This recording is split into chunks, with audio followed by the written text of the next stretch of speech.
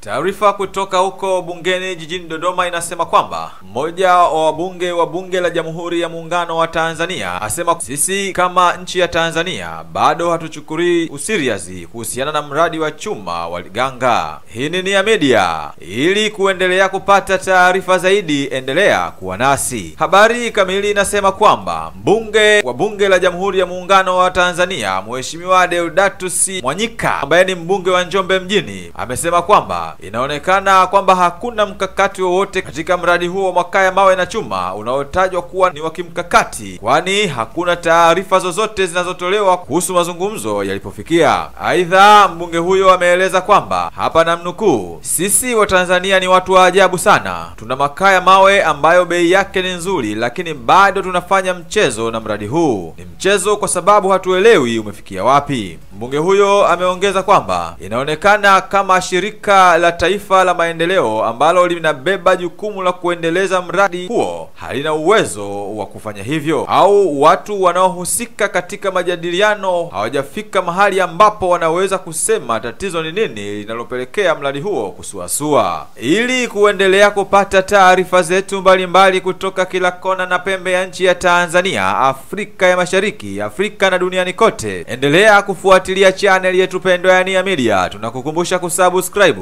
kulike, kushare na kukomenti, lakini pia tunakuomba uendelee kufuatilia kurasa zetu mbalimbali katika mitandao mbalimbali ya kijamii kama vile Facebook, TikTok na Instagram kwa jina la Nia Media TZ, ili uendelee kupata taarifa zetu mbalimbali. Niliyekuletea taarifa hizi ni mimi mtangazaji wako naitwa Festo John Mchodo, lakini pia shukurani zangu zimwendee mhariri wangu anayejulikana kwa jina la Musa Saidi Mjomba, ambaye ndiye anayewezesha taarifa hizi kuweza kukufikia namna ipasavyo. Hii ni Nia Media.